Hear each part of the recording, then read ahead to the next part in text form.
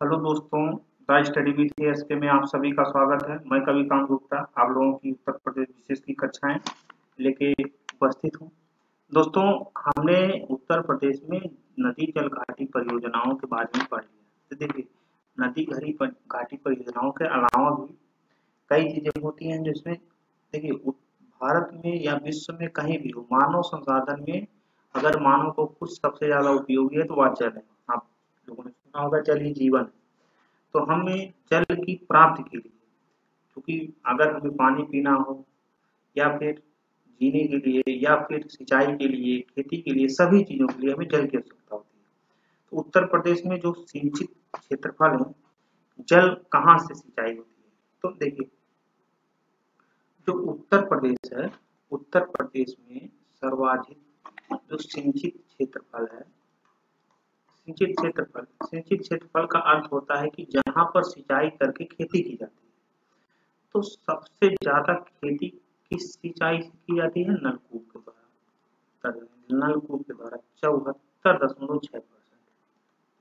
चौहत्तर दशमलव छह परसेंट। और ये पूरे भारत में सर्वाधिक नलकूपों से सिंचाई कहाँ की जाती है? उत्तर प्रदेश में की जाती है। इसके बाद नहर द्वारा की जाती है। नहर के द्वारा कितना किया जाता है? पंद्रह दशमलव दो परसेंट।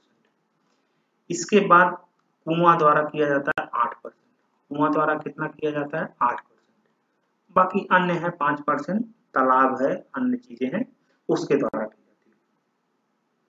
अच्छा उत्तर प्रदेश में, क्योंकि जल नलकूपों द्वारा अधिक सिंचाई की जाती है, जिससे उत्तर प्रदेश में भू स्तर भूजल में कमी हो रही है, इसकी वजह से उसको बचाने के लिए उत्तर प्रदेश में, उत्तर प्रदेश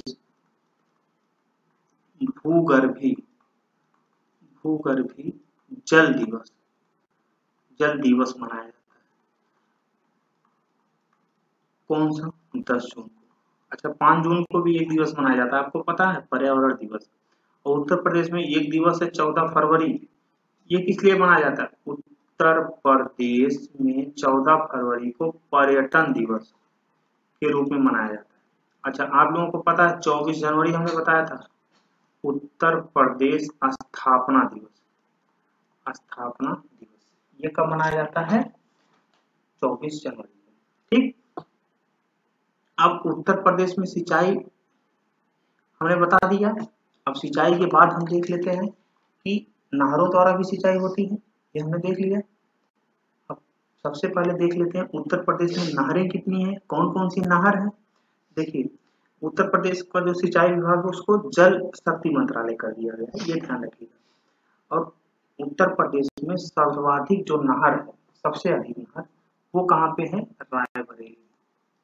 रायबरेली जिला जो है, रायबरेली में उत्तर प्रदेश में सर्वाधिक सबसे लंबी नहर, सर्वाधिक नहरें कहाँ पे हैं?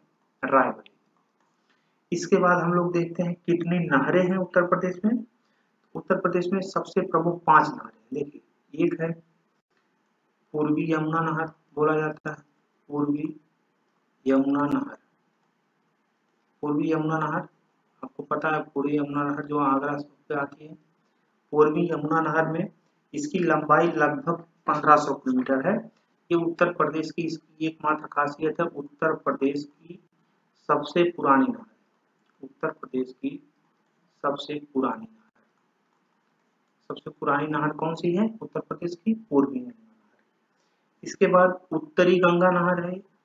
उत्तरी गंगा नहर, उत्तरी गंगा नहर। उत्तरी गंगा नहर की कोई विशेष खासियत नहीं है, बस हाँ ये उत्तरी गंगा नहर उत्तर प्रदेश की है, जो द वर्ल्ड बैंक द्वारा वर्ल्ड बैंक द्वारा सहायता प्राप्त, या मान्यता प्राप्त द्वारा सहायता प्राप्त है। ये उत्तरी गंगा नहर। ये नहर हो गई। एक निचली गंगा नहर है। उत्तरी गंगा नहर के बाद निचली गंगा नहर, निचली गंगा नहर। इसकी भी कुछ खासियत नहीं है। एक शारदा नहर आप सबको हमने पढ़ा चुका है। शारदा नहर जो लखीमपुर खीरी में पड़ती है, शारदा नहर शारदा नहर के बारे में खासियत हमें बताया कि ये तेरह हज़ार, बारह हज़ार तीन सौ अड़सठ किलोमीटर है और ये उत्तर प्रदेश की सबसे लंबी नहर सबसे लंबी नहर। और सबसे लंबी नहर है, इसलिए सब सर्वाधिक क्षेत्रों में सिंचाई के लिए उपस्थित है। अब आगरा नहर एक है, आगरा नहर भी वही यमुना नदी के पास। उत्तर प्रदेश में बलिया जिला में एक योजना है, उस योजना का नाम है state of the art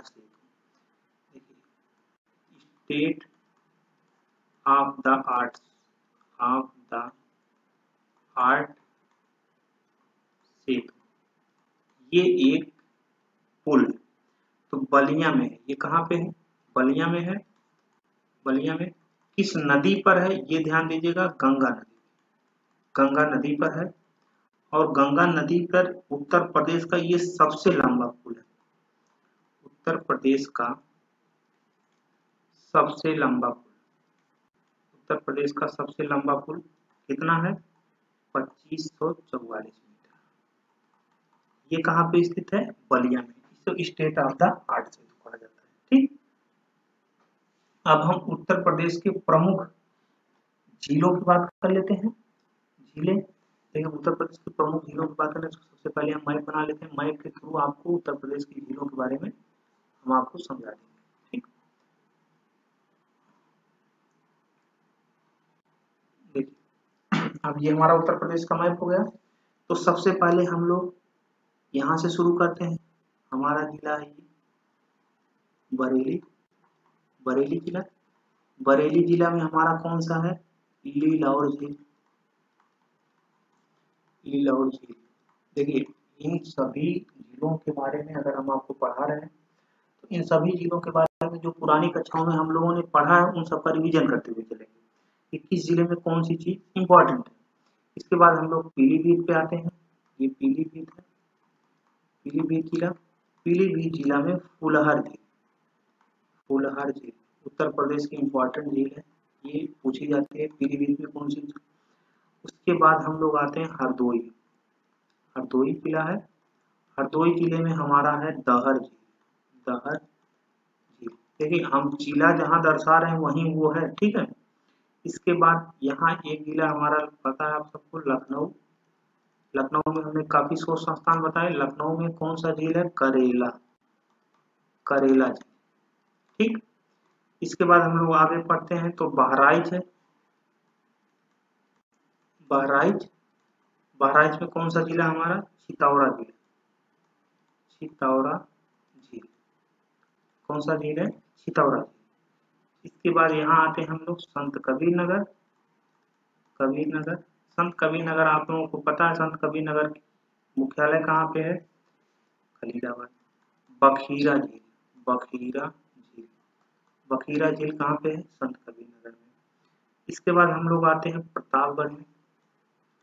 Pratapgarh में प्रतापगढ़ में बेती झील है। आपको पता है यहाँ बेती राष्ट्रीय उद्यान भी है और इसका नाम बदल के क्या कर दिया गया? है डॉक्टर अंबेडकर राष्ट्रीय उद्यान। ठीक, इसके बाद हम लोग कानपुर में आते हैं। कानपुर में एकमात्र झील है कौन सा? मोती। झील और कानपुर के बारे में हम लोगों ने पिछली कक्षाओं में क्या क्या पढ़ा है? कानपुर राष्ट्रीय चीनी अनुसंधान केंद्र है, राष्ट्रीय चर्म अनुसंधान केंद्र है, राष्ट्रीय दलहन अनुसंधान केंद्र है। ये सब चीज़ों के बारे में हमने पिछली कक्षा में पढ़ा इसके बाद यहाँ आता है जिला आगरा। आगरा में? आगरा में हमारा सबसे ज़्यादा सूर सरोवर झील आपको पता है यहाँ सूर सरोवर बाँध है। सूर सरोवर बाँध और सूर सरोवर झील है। तो मथुरा में नौ झील। देखिए, जहाँ पर नदियाँ हैं और वहाँ पे बाँध बने हैं, वहाँ पे झीलें होंगी। तो नौ झील कहाँ की है? ठीक, ये हमारे इनका रिवीजन अभी हम लास्ट में कर लेंगे। सबसे पहले हम अब पढ़ लेते हैं, नदियों के किनारे कुछ निकटवर्ती नगर।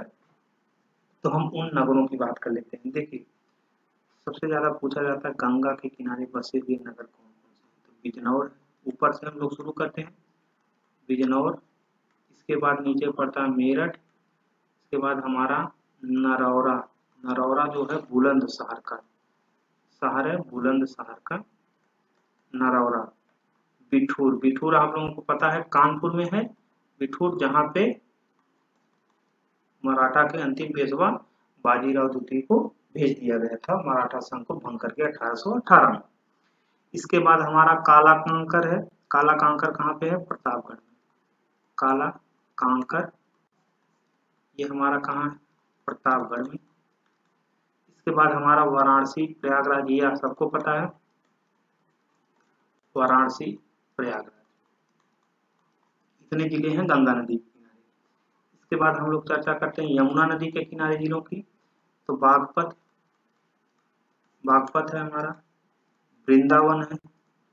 वृंदावन कहाँ पे है? मथुरा में। ये सबको पता है वृंदावन कहाँ पे? मथुरा में है। आगरा है। आगरा आपको पता है। इटावा है। इसके बाद हमारा कालपी है। कालपी। इसके बाद हमीरपुर। हमीरपुर और कौशाम्बी कौशाम्बी जिला। ठीक? और अगला प्रयागराज तो आप सबको पता है। इसके बाद हम लोग चर्चा करते हैं अगला। अलग अलग नदी है अलग अलग जिलों से इंपॉर्टेंट है, कौन सा जिला कहाँ पे है? तो केन नदी के किनारे कौन सा बसा है? केन नदी के किनारे बांदा। बांदा। बांदा जिला है। उसके बाद हमारा राप्ती नदी इंपॉर्टेंट है। हमारे बाबा का नगर गोरखपुर। गोरखपुर। ये किस नदी के किनारे बसा है? राप्ती। गोमती नदी के किनारे अक्सर पूछे जाते हैं तीन शहर कौन कौन से हैं? एक लखनऊ है एक जौनपुर है, एक सुल्तानपुर जौनपुर एक है, सुल्तानपुर। सुल्तानपुर ये किस नदी के किनारे बसे हैं गोमती नदी के किनारे। इसके बाद हमारा अयोध्या अयोध्या किस नदी के किनारे बसा है, सबको पता है? सरयू नदी। सरयू नदी जिसके किनारे? राम की स्टैचू बने जा रही है, ठीक? इसके बाद हमारा आता है हिंडन नदी किनारे, गाजियाबाद। गाजियाबाद पूछा जाता है। गाजियाबाद और मेरठ। किस नदी के किनारे बसा है? हिंडन नदी। हिंडन नदी कासगंज। कास याद रखिएगा कासगंज किस नदी के किनारे बसा है? काली नदी के किनारे। काली नदी किनारे। उसके बाद हमारी एकमात्र प्रतापगढ़ बचा प्रतापगढ़। यहाँ किस नदी के किनारे बसा सई नदी। इतनी चीज़ों को हम डिवीज़न कर लेते हैं अपना। चलिए देखते हैं। उत्तर प्रदेश में सिंचित क्षेत्र जो है भूमि है, उसका चौहत्तर परसेंट किससे सिंचाई होती है? नलकूपों द्वारा, नहर द्वारा पंद्रह परसेंट और कुआँ द्वारा आठ परसेंट। और जो नलकूपों द्वारा सिंचाई होती है, पूरे भारत में सर्वाधिक नलकूपों से सिंचाई कहाँ होती है? उत्तर प्रदेश उत्तर प्रदेश में नलकूपों से सिंचाई के द्वारा जल, भूमि में भूगर्भीय जल जो है उसका कम हो रहा मात्रा उसके बचाव हेतु उत्तर प्रदेश को 10 जून को उत्तर प्रदेश भूगर्भीय दिवस मनाया जाता है। आप जब उत्तर प्रदेश के दिवस के बारे में चर्चा करेंगे तो 14 फरवरी सॉरी चौदह फरवरी को हमारा उत्तर प्रदेश पर्यटन दिवस मनाया जाता है, जबकि चौबीस जनवरी को उत्तर प्रदेश के स्थापना दिवस मनाया जाता है। अब रायबरेली में सर्वाधिक नारे हैं उत्तर प्रदेश के ज़िले, रायबरेली ज़िले में सर्वाधिक नारे कहाँ पे हैं? रायबरेली। अब कई नहरें हैं, जैसे पूर्वी यमुना नहर जो उत्तर प्रदेश की सबसे पुरानी नहर है उत्तरी गंगा नहर है, जो वेस्ट वर्ल्ड बैंक द्वारा सहायता प्राप्त है। इसके बाद शारदा नहर है, जो उत्तर प्रदेश की सबसे लंबी नहर है। अब स्टेट ऑफ़ आर्ट से स्टेट ऑफ़ द स्टेट का मतलब होता है जिला। ज़िले का सबसे आर्ट वाला क्षेत्र कौन सा है? बलिया में स्थित है। इस गंगा नदी पर स्थित है, ये उत्तर प्रदेश का सबसे लंबा पुल है। अब हम झील की बात कर लेते हैं। उत्तर प्रदेश में कितने कितने झीलें हैं? तो लीलौर झील, लीलौर बरेली, ली से याद करेंगे, ली फिर लीलौर। लीलौर झील कहाँ पे हमारा? बरेली में है। फुलहर झील, पीली। देखिए, फूल जो है, किस कलर का खिलता है? पीला कलर का। तो फुलहर झील कहाँ पे है? पीलीभीत हरदोई में दहर झील। हर दहर, हर लगा है हरदोई और दहर लगा है झील में। तो दहर झील कहाँ पे हरदोई लखनऊ में करेला, देखिए। और बहराइच में चितौरा झील। इसके बाद संत कबीर नगर खलीलाबाद है इसका तो बजीरा झील। ठीक? प्रतापगढ़ में बेती, आपको पता है राष्ट्रीय उद्यान भी है, जिसका नाम अंबेडकर नगर राष्ट्रीय उद्यान पड़ गया, उसके बाद बेती झील भी है। कानपुर में मोती, मोतिया, मोतियों का साथ कानपुर। और सूर सरोवर, बाँध कहाँ पे? आगरा में। सूर सरोवर झील कहाँ पे? आगरा में। नी झील कहाँ पे है? ठीक। अब हम लोग नीचे चर्चा कर लेते हैं, कौन से ज़िले किस के स्थान पर बस। ठीक। इनकी चर्चा कर लेते हैं। देखिए, गंगा नदी के किनारे बिजनौर शहर बसा है, मेरठ नरौरा बिठूर, काला कांकर, वाराणसी। काला कांकर प्रतापगढ़ का, वाराणसी जानते ही है, बिठूर कानपुर का है नरौरा बुलंदशहर का। यमुना नदी के किनारे बागपत, वृंदावन, आगरा, इटावा, कालपी, हमीरपुर, कौशाम्बी, प्रयागराज। प्रयागराज और गंगा और यमुना के संगम बसा है सबको पता है। केन नदी के किनारे बांदा जिला बसा है, गोमती नदी किनारे लखनऊ, जौनपुर, सुल्तानपुर, तीन ज़िले बसे हैं। राप्ती नदी के किनारे गोरखपुर बसा है जबकि अयोध्या सरयू नदी के किनारे बसा है। गाजियाबाद और मेरठ हिंडा नदी के किनारे, कासगंज कास काली नदी के किनारे और प्रतापगढ़ सई नदी आदि कक्षा हम यही समाप्त करते हैं। अगली क्लास के लिए हम आप नेक्स्ट वीडियो का देखिएगा। इसको रिवीजन करते रहिए और हमारी कक्षा को ज़्यादा से ज़्यादा शेयर करिए। बहुत बहुत धन्यवाद। आज इतना समय देने के लिए।